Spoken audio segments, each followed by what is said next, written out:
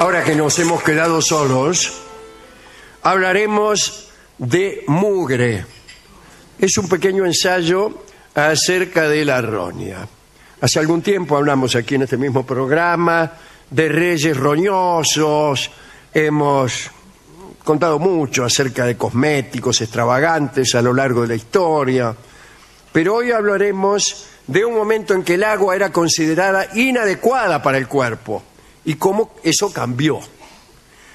Los antiguos griegos adoraban el baño, les gustaba andar desnudos. Allí, por ejemplo, gimnasio en realidad quiere decir lugar donde uno anda desnudo. O sea, eh, ahora cambió un poco el significado. Pero gimnasium significaba lugar donde ir desnudo. Y así, desnudo, hacían gimnasia hasta sudar en forma saludable. Y tenían la costumbre de finalizar sus ejercicios diarios con un baño comunal. ¿eh? Eran básicamente unos chapuzones higiénicos. Para ellos bañarse era una cosa ágil, algo que tenía que realizarse con rapidez. Porque en realidad los baños duraderos, los baños lánguidos, se inician en Roma. Nadie se ha bañado jamás con tanta devoción como los romanos. Pero no es ese el tema de hoy. Lo que nos importa contar es que tiempo después el cristianismo tuvo una relación oscilante con la limpieza del cuerpo. Eh, en sus comienzos se desarrolló la extraña tradición de equiparar la santidad con la suciedad. Cuando Santo Tomás Becket murió en 1170, los que arreglaron su cuerpo destacaron con aprobación que su ropa interior bullía de piojos. A lo largo del periodo medieval, uno de los métodos infalibles para ganarse el honor eterno consistía en hacer el juramento de no bañarse. Mucha gente peregrinaba a Tierra Santa, pero cuando un monje llamado Godry lo hizo sin mojarse ni una sola vez, se convirtió de forma inevitable en San Godry.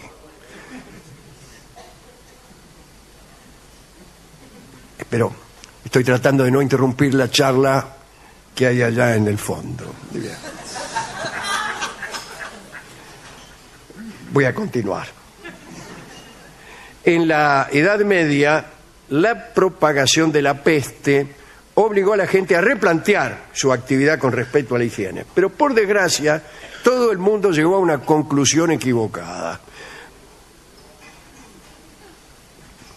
Las mejores mentes del momento coincidieron en que el baño abría los poros de la epidermis y fomentaba que los vapores mortales invadieran el organismo.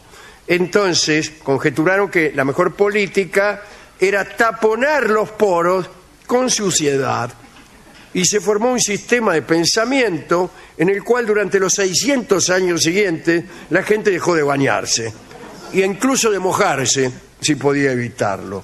Dice la crónica, conviene prohibir los baños porque al salir de ellos la carne y el cuerpo son más blandos y los poros están más abiertos, por lo que el vapor apestado puede entrar rápidamente. Tienen razón. Tan desplegada era esa creencia que el que osaba tomar un baño debía cuidarse de cualquier actividad. Salir del agua limpio y poroso era un peligro. Así, con pocos baños, las infecciones pasaron a formar parte de la vida diaria. Los forúnculos era lo habitual. Los arpullidos y las marcas cutáneas se convirtieron en sucesos rutinarios. La gente pasaba el día rascándose como tantos de nosotros. El malestar era constante y las enfermedades graves, se aceptaban con resignación. La reina Isabel de Inglaterra se bañaba, sin embargo, fielmente una vez al mes, lo necesitara o no. Robert Hooke, el científico, se lavaba solamente los pies. En Francia, el rey Luis XIII no se bañó hasta el día de su séptimo cumpleaños, en 1608, y después dejó pasar otros diez añitos. Cuando los europeos empezaron a andar por América, eran tan tremendamente malolientes que los indios no dejaban de comentar cómo apestaban. Nada, sin embargo, les hacía más gracia a los indios americanos que la costumbre europea de sonarse la nariz con un pañuelo y doblarlo cuidadosamente a continuación y volver a guardarlo en el bolsillo, costumbre que teníamos nosotros hasta ayer no más. Bueno, algunos hasta hoy.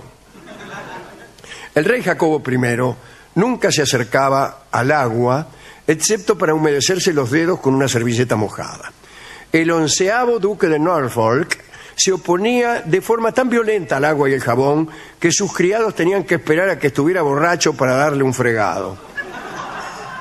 Y el olor del escritor James Boswell se trata, ¿saben? Eh, Boswell es, el tipo que escribió sobre el Dr. Johnson, ¿eh? este, el biógrafo de Johnson, que escribió una biografía casi más, más larga y más detallada que la misma vida del doctor Johnson. Bueno, este tipo eh, parece que tenía una roña que antecedía a su mano en el saludo.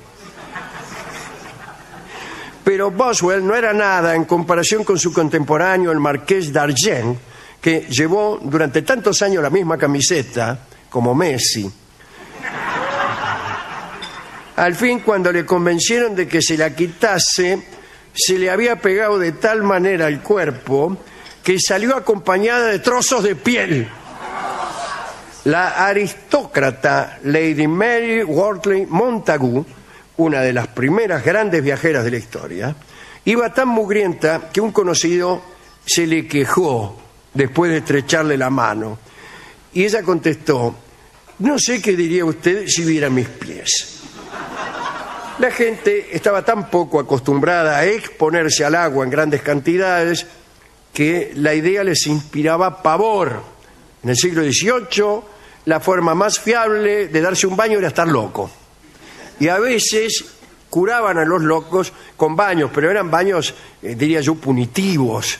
Los agarraban a manguerazos durante 10 horas. Benjamin Franklin desarrolló la costumbre de, de tomar baños de aire el tipo abría la ventana y se tiraba desnudo ahí. Y nada más. Ahora bien, llegó un momento en que el agua se puso de repente de moda.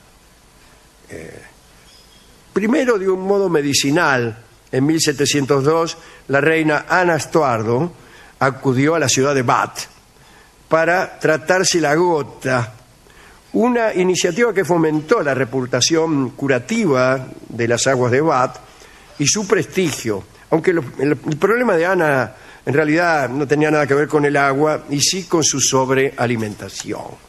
Pronto empezaron a aparecer, aparecer ciudades balneario, ciudades costeras, que todas decían que sus aguas curaban, ponele la apoplejía, la epilepsia, la catalepsia, el vértigo, ictericia, melancolía hipocondríaco y flatulencia.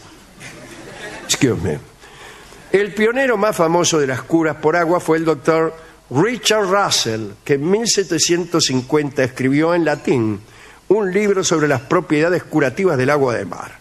El libro de Russell recomendaba el agua de mar como eficaz tratamiento de múltiples trastornos. El problema era que los enfermos no solo tenían que sumergirse en agua de mar, sino además beberla en grandes cantidades.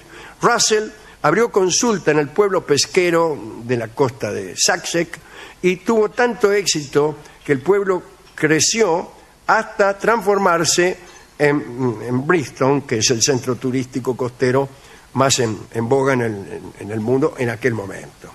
Eh, parece que el doctor Russell eh, fue el inventor del mar, eh, el mar como espacio de placer, digamos.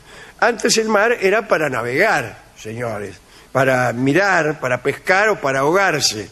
Pero no, disfrutar del mar eh, no, no, se pensaba en eso. El rey inglés Jorge III, que estaba bastante del tomate, buscando privacidad, viajó a Weymouth, eh, un pueblo muy tranquilito, pero quedó consternado cuando se encontró con miles de adeptos abarrotando la playa a la espera de presenciar su baño todos querían ver cómo se bañaba el rey. Al final se metió envuelto en un vestido de sarga de color azul, muy voluminoso. Al final el intendente prohibió ir a verlo al rey. Tobias Smollett, novelista, médico, tenía problemas de pecho, abrió un consultorio en el Mediterráneo y cada día tomaba un baño en las costas de Niza para el asombro de los locales, porque incluso cuando hacía frío se metía el tipo.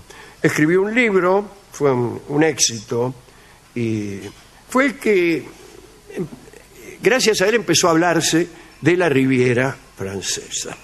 Bueno, con el tiempo la gente fue aceptando la idea de que mojarse de vez en cuando no, no era tan malo, las teorías sobre la higiene personal que habían dominado el mundo durante tanto tiempo empezaron a cambiar. eh, pero lavarse por el solo hecho de, de ir limpio, eso tardó un poco más, ¿no? En 1788, John Wesley, fundador del metodismo, acuñó la frase, la limpieza nos acerca a la santidad. En tiempos de la gran exposición, bastante más adelante, en 1851 en Londres, las cosas ya estaban cambiando más. Eh, se exhibieron 700 marcas de jabones y perfumes, que revela que había un, mercado importante. Digamos, para terminar, que en este ánimo, por fin, de sacarse la mugre, las primeras duchas empezaron a diseñarse para que fueran lo más potentes posible.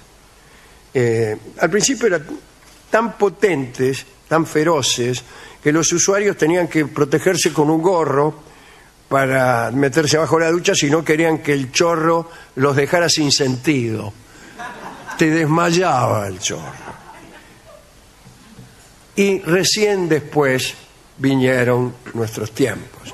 En aquel entonces estábamos lejos de lo de hoy, de los baños compartidos, de las caricias en la bañera, de los besos bajo la ducha y de las promesas sobre el bidet. Un, dos.